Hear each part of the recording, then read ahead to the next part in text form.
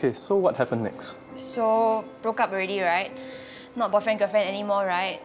But he kept on messaging me, so I ignored him. Okay. Then he started to threaten me. He said if I don't go back to him, he'll put my naked pictures on the internet. These are his messages. Okay, give me a moment.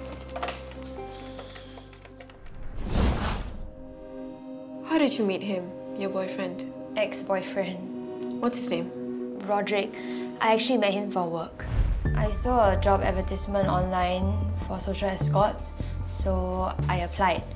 After that, a guy called me and told me to meet him at Ice Cream Frenzy along West Coast Drive. Sorry, sorry, sorry. I'm late. You, Alina? Uh, yes, I'm Lina.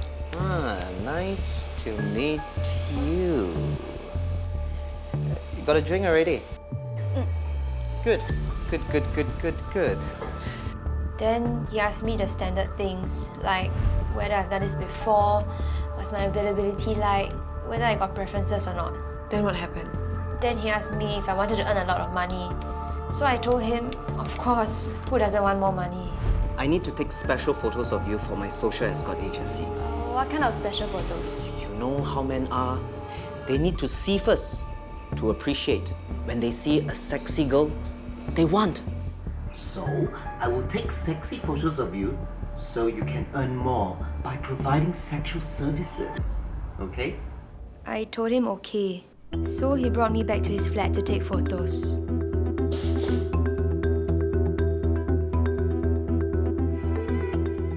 Wow. Confirm the photos will be very sexy. Come, stand over here. Okay, come, smile.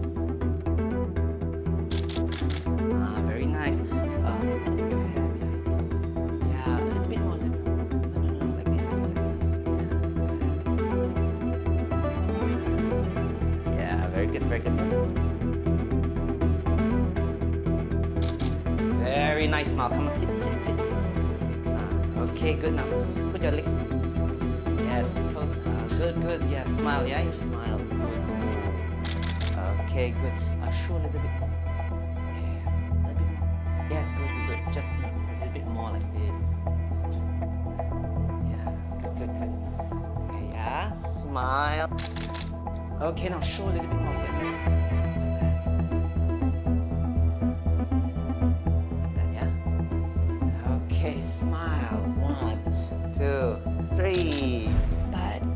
After we took the sexy photos, I didn't become a social escort. Why not? Because Roderick asked me to be his girlfriend. He asked many times, so I said okay. I was his girlfriend for seven months. What changed? He wanted more control over me. What I do, where I go, said I couldn't go out with my friends, wanted me to stay home all the time. I always have to do what you want. I want to break up. Don't you dare leave me! I whatever I want. I'm not your girlfriend anymore. If you take a step out there, I'll post your naked photo on the internet. Delete them now. Leave me and you'll become famous. All the forums, all the social medias, they will see you naked. So how did Roderick get those naked photos of you? When we were attached, he wanted naked photos of me so that he could see me all the time. So I let him take. I thought it was okay because he was my boyfriend, but now he's using them to threaten me.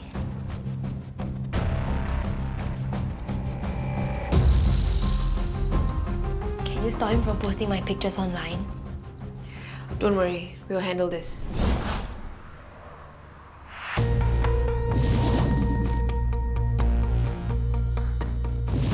Guys, any updates? The complainant said that Roderick had two handphone numbers. When she applied to become a social escort, he contacted her using his business number. But when they were in a relationship, he used his personal phone number. Are both numbers registered to him? I checked with the telcos. The personal number is registered to him, but the number for his business phone is registered to a foreign national who has since left the country. That's definitely a red flag. He's probably involved in something shady. Zain, did you find anything on him? Yep. I did a background check.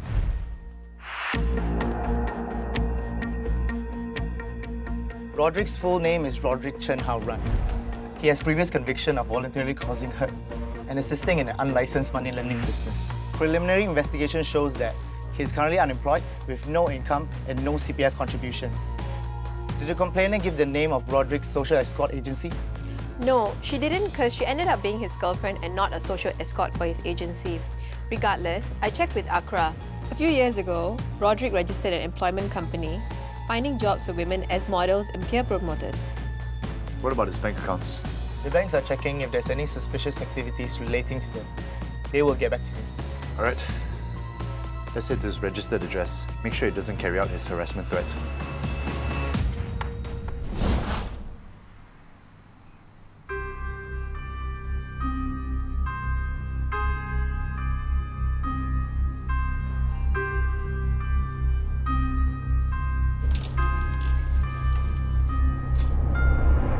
Suspect is on the way to your direction. Roger.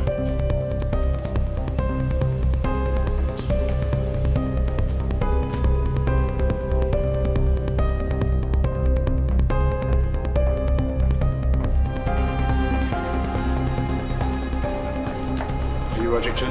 Yeah, why? I'm Senior Investigation Officer Neo. You're under arrest for offences under the Women's Charter Act. Cuff him.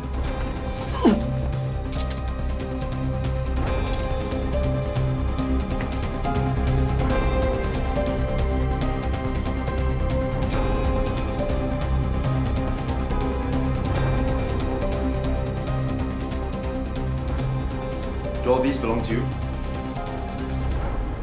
Yeah.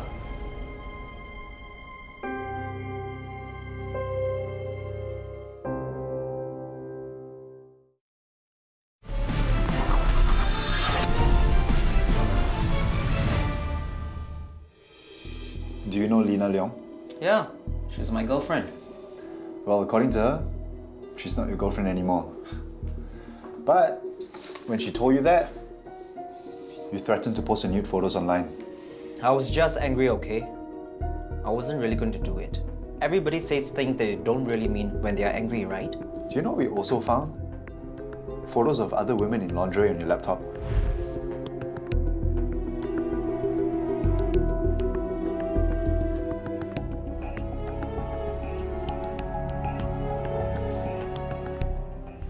Sir, a lot of men have sexy photos on their laptop. We all like to look and fantasize.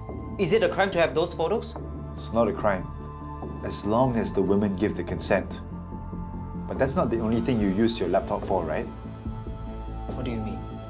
You uploaded those photos to a website called SG Extra Hot Babes, a website that provides social escort services. You have no proof that website belongs to me. So how do you explain all the photos uploaded to the website being traced back to your laptop?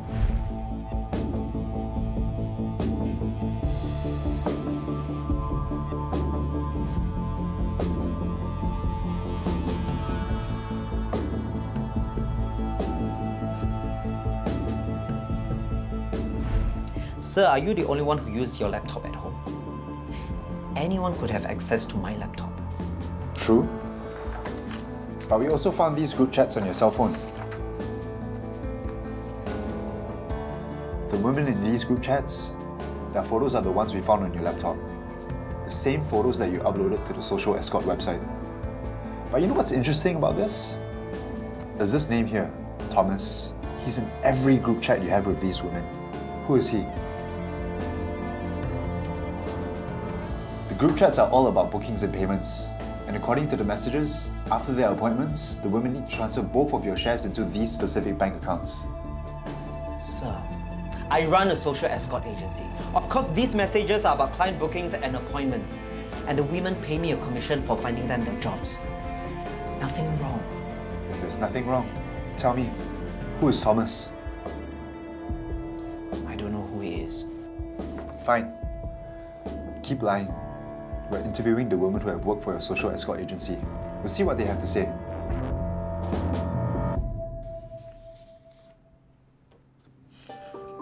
Yeah, I work as a social escort for the agency. Is that all?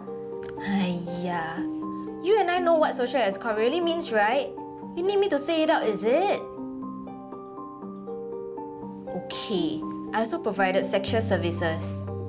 How did you find out about SG Extra Hot Babes? I needed some extra money.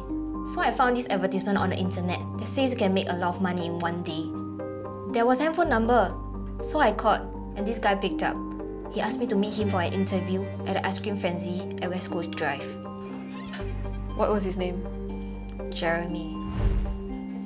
So you know, if a client likes you, they will ask for special service. Sex, right? Yes, I know. Good, good, good, good, good. So normally, my girls charge about 350 to 450 per hour. But you, I'll advertise at $550 to $650. For your quality, 350 is way too cheap. Thanks, Jeremy. Don't mention about it. After all, the more you earn, the more I earn, right?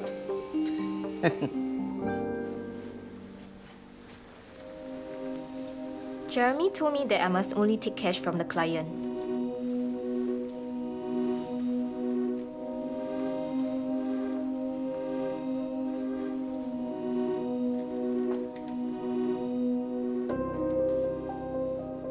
After getting paid, I would keep 60% and transfer the other 40% to Jeremy's bank account. Jeremy set up a chat group to let me know all the booking details. I will have to message him when I started and when I finish all my appointments. Can you identify Jeremy from here?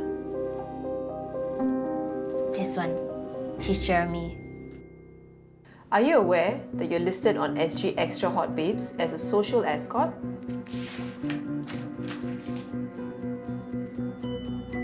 Oh, um, yeah. Is this without your consent? No, no. Um, I signed up with them. I needed money at that time. Did you get any work through them? Yes. Only for social escort services?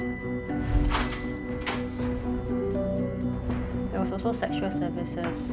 I was paid $450 an hour and kept 60% for each client I serviced. Who recruited you? Two men named Jeremy and Thomas. There was an advertisement online promoting a daily rated job. When I called the number, I was told to meet them for an interview.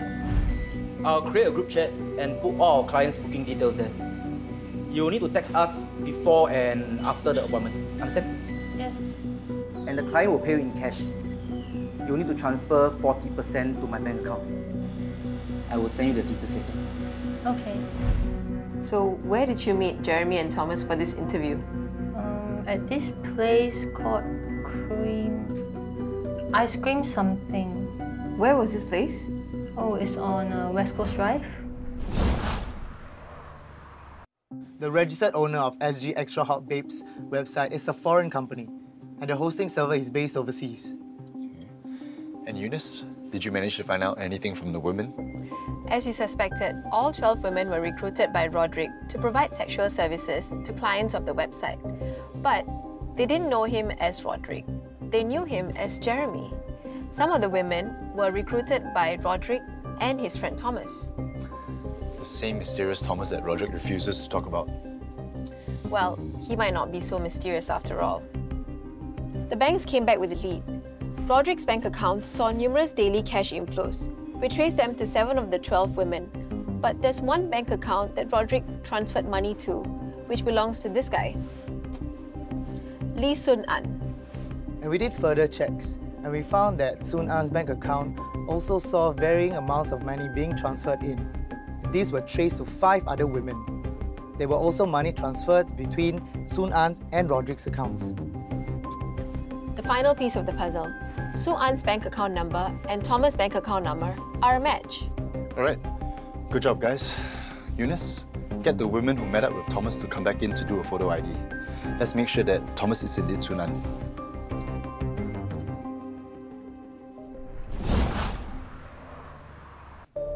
Please identify Thomas.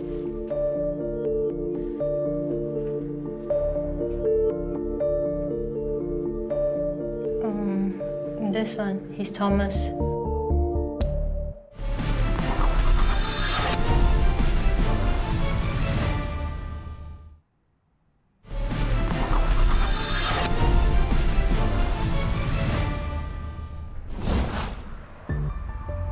Sun An's registered address was vacant, and Roderick's still playing dumb.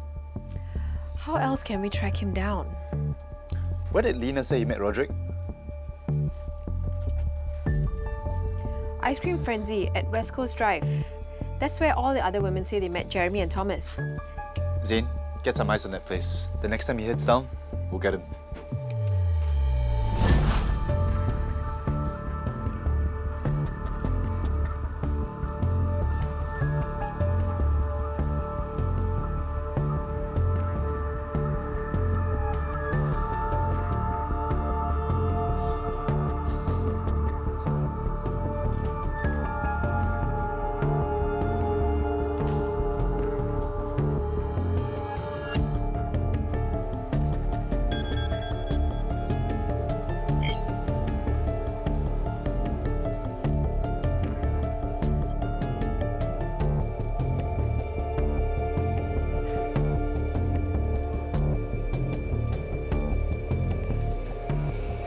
Hi, are you Ellie? Ah, yes, hi. I'm Thomas. Sorry to keep you waiting. So I'm pretty sure you know what our job scope all about. Are you Lee Sun An? Yes? I'm Investigation Officer Eunice. Please follow me.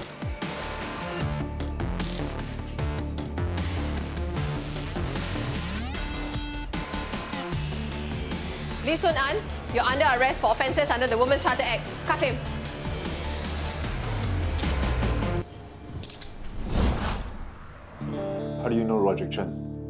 He approached me. He wanted us to work together to set up a social escort agency. SG Extra Hot Babes? Yes. The women recruited by you and Roderick have testified to providing sexual services to your clients of the social escort agency. And they have also testified to paying you a cut from their earnings. What do you have to say? Roderick was the one who created the website.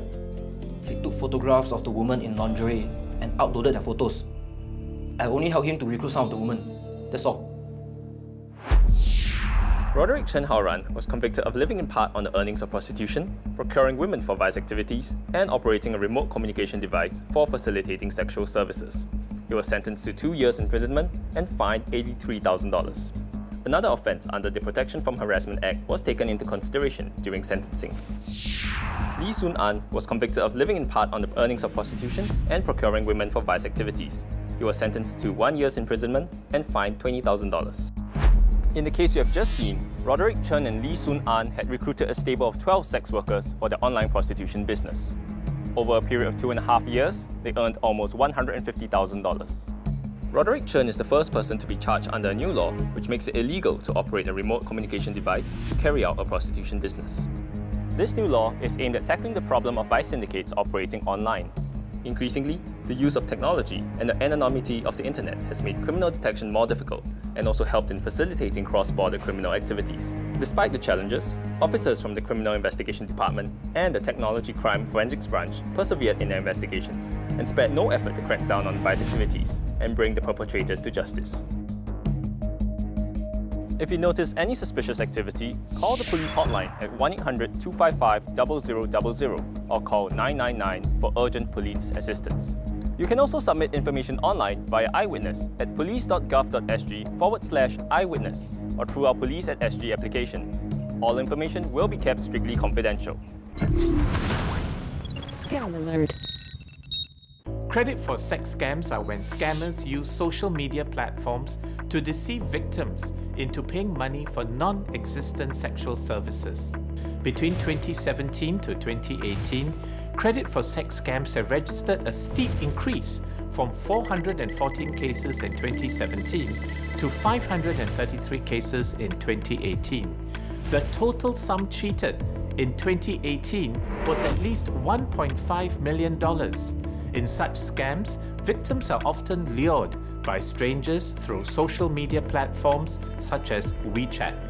Victims are then talked into buying gift cards in exchange for a meetup, date, or sexual favor. To avoid becoming a victim of such scams, here are some tips. Be wary of strangers who befriend you on social messaging platforms and dating apps. Ignore offers for escort, massage, or sexual services. Reject requests for payments via gift cards or fund transfers in exchange for meetups, dates, or sexual favors. Do your part to stop scams by joining NCPC's Let's Fight Scams movement. Receive up to date information on the latest scams and share it with your loved ones. To seek advice, you may call the anti scam helpline at 1 800 722 6688 or go to www.scamalert.sg. We have come to the end of this episode of Crimewatch. If you have any feedback, do drop us an email. I'm DSP James Goh. Until next time, do your part to prevent, deter, and detect crime.